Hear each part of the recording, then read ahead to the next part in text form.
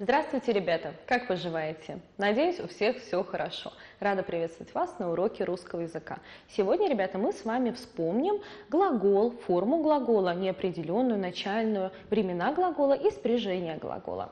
Итак, глагол, что такое глагол? Это часть речи, которая обозначает действие и отвечает на вопросы, что делать, что сделать и так далее. Что значит неопределенная форма глагола? По-другому мы ее называем как правильно, начальная форма глагола. Почему она называется неопределенной? Потому что абсолютно ничего мы не можем определить. Мы ни время не можем определить, ни э, число глагола, поэтому мы ее называем неопределенной.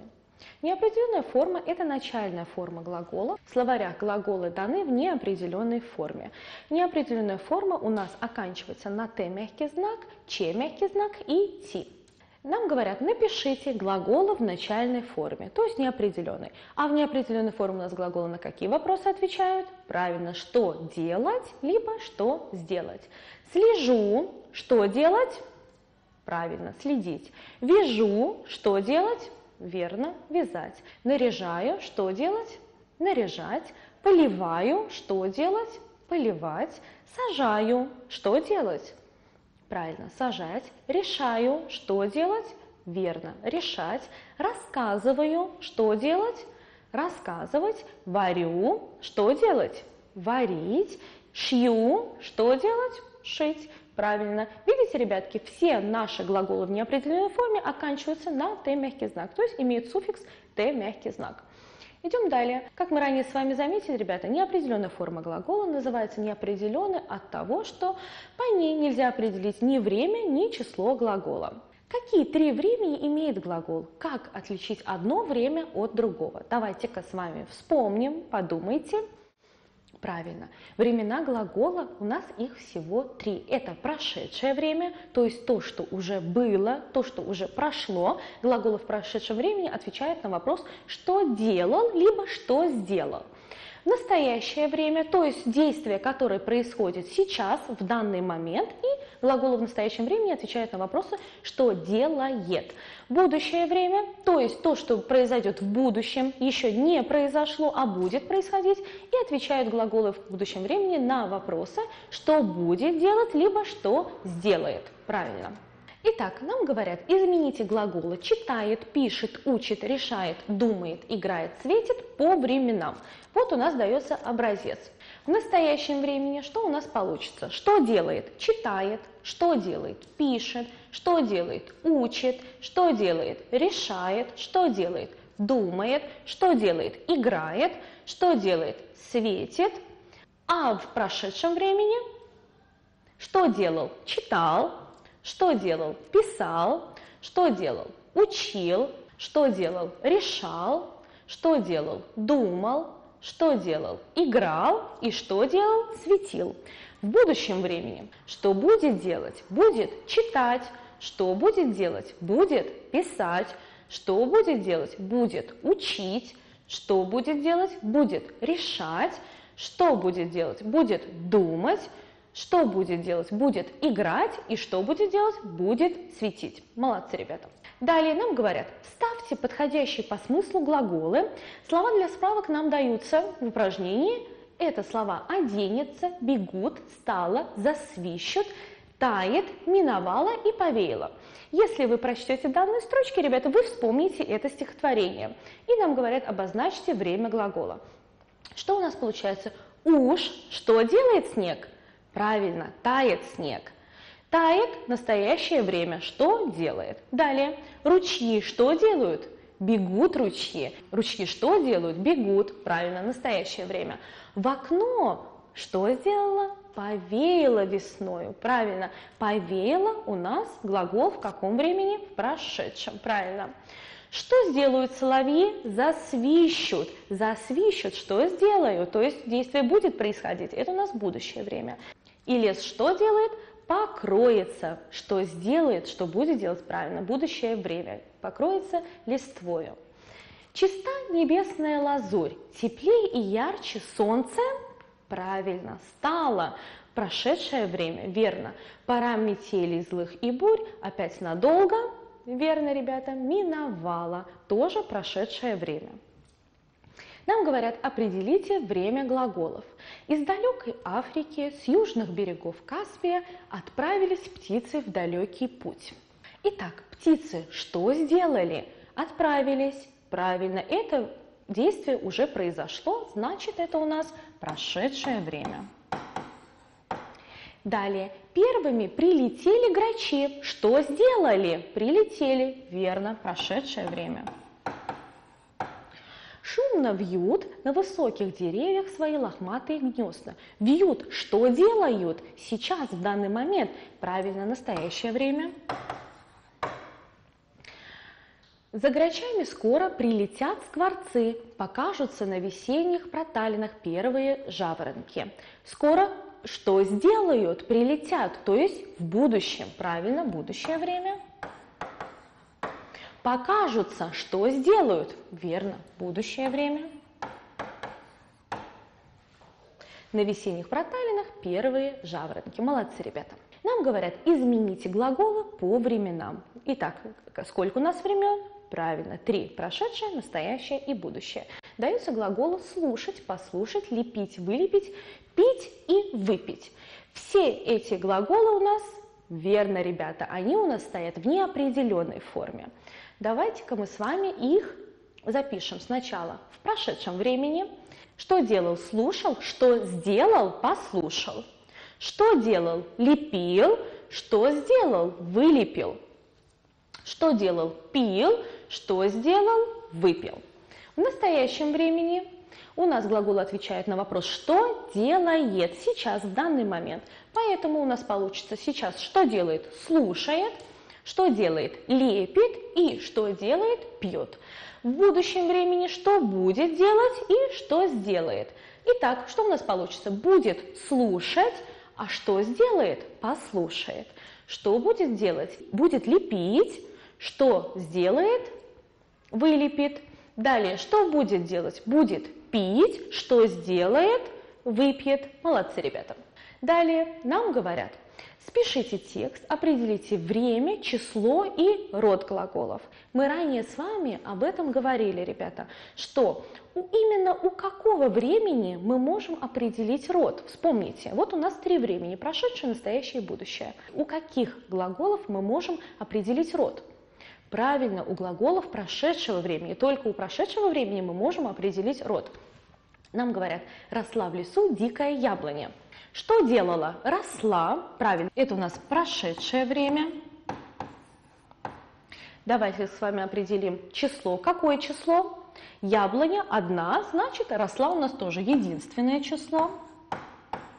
И род у нас какой? Росла. Что делала? Правильно, женский род. Дальше. Осенью упало с нее кислое яблоко. Что сделала? Упало. Правильно, прошедшее время. Кислое яблоко, оно у нас одно, значит единственное число. И что мы скажем про яблоко? Яблоко у нас какой род? Средний, значит и упало тоже среднего рода. Далее только одно зернышко спряталось в землю и весной проросло.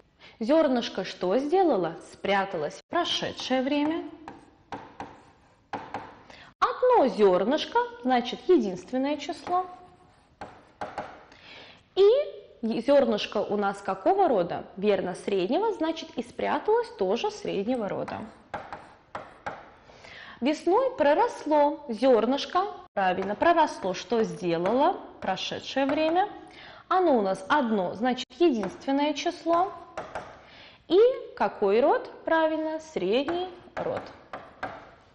Теперь, мои хорошие, мы с вами повторили, что глаголы в прошедшем времени изменяются по числам и родам. А вот глаголы настоящего и будущего времени, ребята, изменяются по лицам и числам. А ну-ка вспоминаем, вот это изменение глаголов по лицам и числам мы как с вами назвали?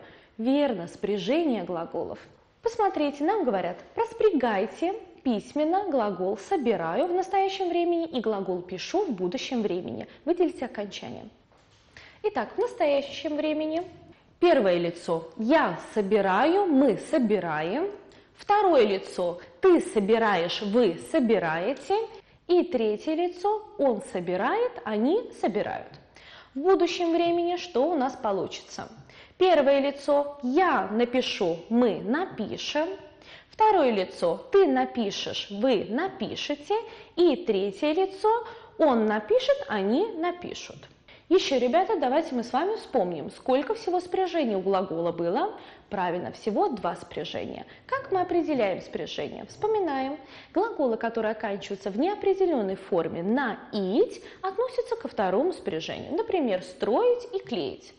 А вот большинство глаголов на ать, ять, еть, ыть, уть, оть и так далее, они относятся к первому спряжению. Например, что делать? Думать, сеять, зеленеть, рыть, полоть, тянуть. Вот посмотрите, нам даются глаголы и говорят нам, определите спряжение. Читать у нас оканчивается на ать, значит мы отнесем к какому спряжению? Правильно, это у нас первое спряжение. Решать, верно, первое. Любить, Правильно. Второе. Просить. Правильно. Второе. Успеть. Первое. Купить. Наить. Значит, второе. Готовить. Значит, второе. Встретить. Правильно. Второе. Встречать. Наать. Значит, первое. Запретить. Ить. Значит, второе. Запрещать. Наать. Значит, первое. Помогать.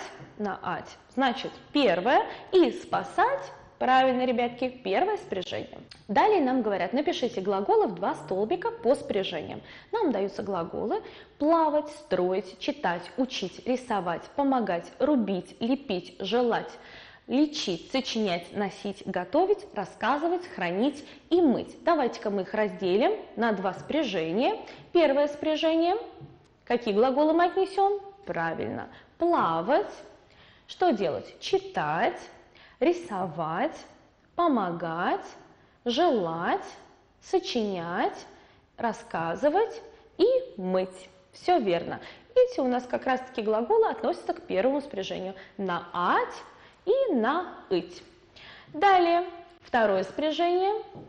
Как мы ранее заметили, ко второму спряжению у нас относятся глаголы на ить. Значит, строить, учить, рубить, лепить, лечить, носить, готовить и хранить. Все эти глаголы у нас на «ить». Молодцы, ребята! Ну а наш урок подошел к концу. До скорой встречи! Скоро с вами увидимся!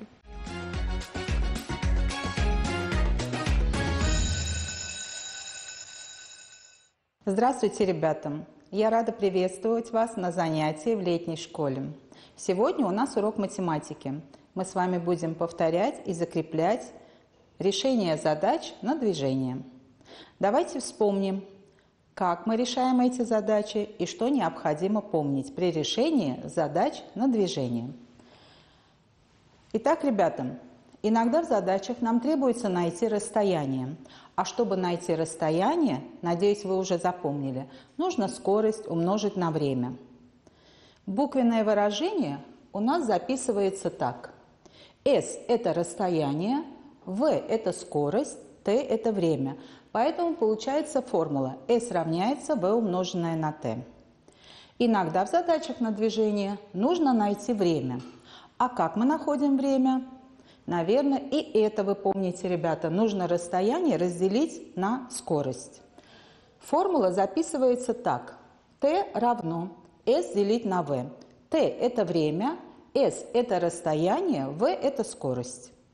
И следующее правило, которое вы должны помнить. Чтобы найти скорость, надо расстояние разделить на время. И также запоминаем формулу v равно s делить на t, где v – это скорость, s – это расстояние, а t – это время. Запомните, пожалуйста, ребята, три этих формулы – это и есть ключики при решении задач на движение. А теперь давайте вспомним наш треугольник. Я вам его уже показывала. Еще раз, ребята, повторяем. Почему треугольник поделен на три части? Потому что основные величины при решении задач на движение – это, конечно же, S, V, T. Где S – это расстояние, V – это скорость, T – это время. Теперь, если нам нужно найти расстояние, что мы при этом делаем? Мы v умножаем на t. Этот треугольник, ребята, поможет вам вспомнить вот эту формулу. А теперь, если нам нужно найти скорость, что мы должны сделать? Мы должны расстояние поделить на время и запомнить вот эту формулу. Далее, ребята, а если нам нужно найти время, то как мы находим время? S делим на V. Обратите внимание на этот треугольник и запомните, ребята, наверху вы записываете S, внизу вы записываете V и T, то есть наверху у вас расстояние, внизу у вас скорость и время, между ними умножение, а между SV и ST знаки деления. Потому что вы помните, что эти величины все взаимосвязаны. А теперь давайте перейдем к решению задачи. Итак, первая задача. Грузовая машина проехала 5 часов со скоростью 75 км в час. Разгрузив товар, машина проехала еще 2 часа, увеличив скорость на 15 км в час. Какое расстояние проехала грузовая машина? Прочитав эту задачу, мы понимаем, что задача на движение, и нам нужно ее решить. Чтобы решить задачу на движение, ребята, я предлагаю к этой задаче составить схему. Итак, у нас вот такой вот чертеж. У нас есть первая точка, это точка нашего отсчета, то есть а, место, откуда выехала машина. Дальше у нас есть точка, ребята, куда машина прибудет. И у нас флажком отмечено место, где машина разгрузилась. Итак, ребята, давайте посмотрим еще раз на условия задачи. Что нам известно? Известно, что машина проехала 5 часов. То есть до разгрузки она проехала 5 часов. Мы можем отметить это на чертеже. Далее смотрим, какая еще величина есть. Есть еще 75 км в час. То есть до того, как она разгрузит товар, она проехала со скоростью 75 км в час. Далее, ребята, смотрим, что еще есть. Еще есть 2 часа. Оставшийся путь она проехала за 2 часа. Отмечаем на чертеже. И что известно о скорости? Известно, что скорость она увеличила на 15 км в час. Не скорость стала 15 км в час, а именно предыдущая скорость увеличилась на 15. То есть пока мы не знаем, какая это скорость, но запишем, что на 15 км стало больше. А что же требуется найти в задаче? Какое расстояние проехала грузовая машина? То есть весь путь от точки где выехала машина, до точки, куда она прибудет. Весь путь нам необходимо найти.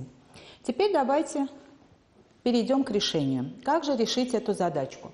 Еще раз внимательно посмотрим на чертеж, ребята. У нас есть скорость 75 км в час и есть 5 часов. Зная скорость и время, можно найти расстояние, то есть путь от начала движения машины до того места, где она будет разгружать товар. А чтобы найти расстояние, мы помним, надо скорость умножить на время. Поэтому мы 75 умножим на 5. У нас получится 375 километров. Эта машина проехала за 5 часов. То есть путь от начала пути до вот этого флажка на чертеже. Теперь, ребята, нам известно, что после того, как машина разгрузила товар, она увеличивает скорость на 15 км в час. Предыдущая скорость была 75 км в час, на 15 км в час стало больше, поэтому мы к 75 прибавим 15, получим 90 км в час. Это скорость грузовой машины после ее увеличения. То есть когда она проезжает 2 часа. И вот теперь, ребята, мы знаем, что скорость стала 90 км в час, а машина проехала 2 часа. То есть, зная скорость и время, мы можем найти расстояние, которое преодолела машина за 2 часа. Мы 90 умножим на 2, получится 180 километров. Это путь, который машина проехала за 2 часа. Итак, ребята, мы весь путь как бы разделили на две части. Первая часть – это до разгрузки, вторая часть – после разгрузки. Если первую часть за, перв... за 5 часов она проехала 375 километров, а вторую часть за 2 часа она проехала 180 километров, чтобы узнать всего, нужно к этому числу, к числу 375, прибавить 180. И если мы сложим у нас получится 555 километров. Это и есть весь путь. То есть машина проехала всего 550 километров. Вот мы можем на чертеже также это обозначить. И записываем ответ. Грузовая машина проехала 555 километров. Теперь рассмотрим вторую задачу, ребят. Из двух городов навстречу друг другу одновременно выехали два автобуса и встретились через 6 часов. Скорость первого автобуса 75 км в час, скорость второго 85 км в час, чему равно расстояние между городами. Также, ребята, решая задачу на движение, мы построим сейчас небольшой такой чертеж. Итак, на чертеже мы видим, ребята, из одного города выехал один автобус, из другого города выехал другой автобус. И самое главное, ребята, что они движутся навстречу друг другу. Далее, они выехали одновременно и встретились через 6 часов. Давайте посмотрим, как они начнут двигаться. У них произошла встреча, и произошло это через 6 часов. Еще что известно? Известно, что скорость первого автобуса 75 км в час. Можем обозначить. А скорость второго автобуса 85 км в час. Также обозначим на чертеже. И теперь что нам требуется найти? Чему равно расстояние между городами? Вот это общее расстояние мы сейчас с вами будем находить. Перейдем, ребята, к решению. Эту задачку мы сегодня постараемся с вами решить несколькими способами. Давайте рассмотрим первый способ решения задачи. Итак, что нам известно? Известно, что первый автобус проехал 6 часов со скоростью 75 км в час. Известна скорость, известно время, значит, можно найти расстояние, которое он проехал, то есть путь, который он преодолел. Чтобы найти путь, расстояние, нам нужно скорость 75 км в час умножить на время, на 6 часов. Мы 75 умножив на 6 получим 450 километров. Это расстояние, которое проехал первый автобус. Вот до этого флажка, до места встречи. А теперь, ребята, также у нас есть второй автобус. Он двигался со скоростью 85 км в час и проехал такое же время, 6 часов. Поэтому, чтобы найти расстояние, которое проехал второй автобус, мы с вами 85 умножим на 6. Получится 510 километров. Это расстояние, которое проехал второй автобус. А теперь, если первый проехал 450 километров, второй автобус проехал 510 километров, чтобы найти общее расстояние, нам нужно их сложить.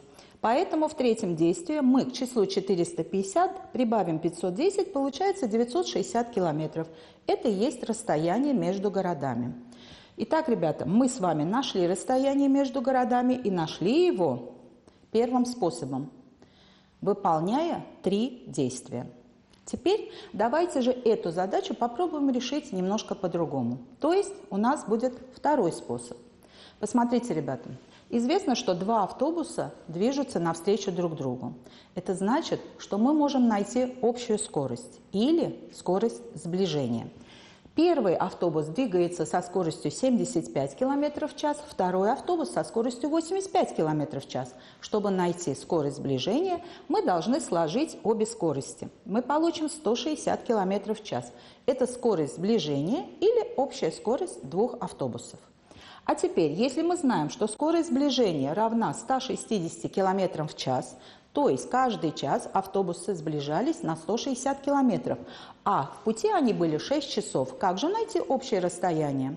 Вы, наверное, уже догадались. Нужно общую скорость или скорость сближения умножить на время. Так мы и поступим. 160 умножив на 6, мы получим 960 километров. Это и есть расстояние между городами. Теперь мы знаем, что расстояние между городами 960 километров и можем записать ответ. Расстояние между городами 960 километров. Обратите внимание, что во втором способе у нас было два действия. Говорят о том, что второй способ у нас рациональный, он более короткий, нежели первый. Вот таким образом, ребята, каждой задаче вы можете составить чертеж, который облегчит вам решение этой задачи. А мы переходим к следующей. Со станции одновременно в противоположных направлениях выехали два поезда.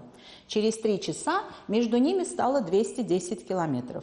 С какой скоростью шел второй поезд, если первый шел со скоростью 40 км в час? Эту задачу, ребята, давайте решим с помощью таблицы. Данные внесем в таблицу. Итак, что мы имеем? В таблице у нас есть графа расстояние буковкой S обозначено, графа буковка В – это скорость, и буковка Т – это время. Теперь у нас есть общее, то есть относящееся и к первому, и ко второму поезду, а также первый поезд и второй поезд. Теперь давайте вернемся к условию нашей задачи и посмотрим, какие величины нам даны. Итак, ребята, через три часа между ними стало 210 километров. Три часа кто проехал? Первый поезд, второй или это общее время? Это общее время, ребята, которое относится и к первому, и ко второму. Мы запишем 3 часа. Далее, ребята, еще известно, что между ними стало 210 километров. Это тоже общее расстояние, поэтому мы записываем вот в эту графу 210 километров. Далее, нам известно 40 километров в час. Это скорость первого поезда. Поэтому мы в эту графу первого поезда внесем его скорость 40 км в час.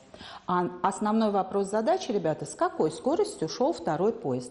Поэтому здесь мы поставим вопросительный знак. А если вы внимательно посмотрите на таблицу, ребята, то поймете, если у нас есть расстояние, у нас есть время, то мы можем найти, правильно, мы можем найти, ребята, скорость. Какую скорость? Общую скорость, ребята. Или можем сказать, это скорость удаления, так как поезда идут в противоположных направлениях.